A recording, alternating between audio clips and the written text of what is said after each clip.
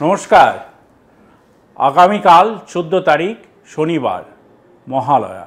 সবাই, আমরা বাঙালিরা বলুন বা সমস্ত হিন্দু ধর্মের সব মানুষেরাই, আগামীকালের দিনটা অর্থাৎ মহালয়া দিনটাকে বেছে নিয়ে আমাদের পিতৃপুরুষদিকে সম্মান জানানোর জন্য, তাদের শ্রদ্ধার্ঘ জানানোর জন্য, তর্পণ করার জন্য গঙ্গার ঘাটে আসি।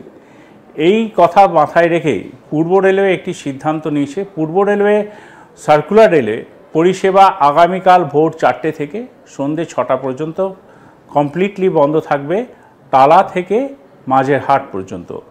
অর্থাৎ যারা পুণ্যার্থী, যারা শ্রদ্ধার্ঘ জানাতে আসবেন, গঙ্গার ঘাটে যারা তর্পণ করবেন, তাদের যাতে কোনো রকম অসুবিধা না হয় কোনো রকম বিপদ না হয়, সেই কথাই মাথায় রেখে রেলওয়ে এই সিদ্ধান্তটি নিয়েছে।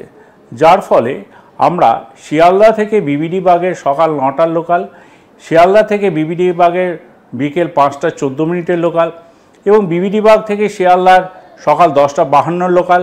বিবিডি বাগ থেকে বারুইপুরে সন্ধে ছটা বাইশ মিনিটের লোকালকে ক্যান্সেল করেছি। ধন্যবাদ।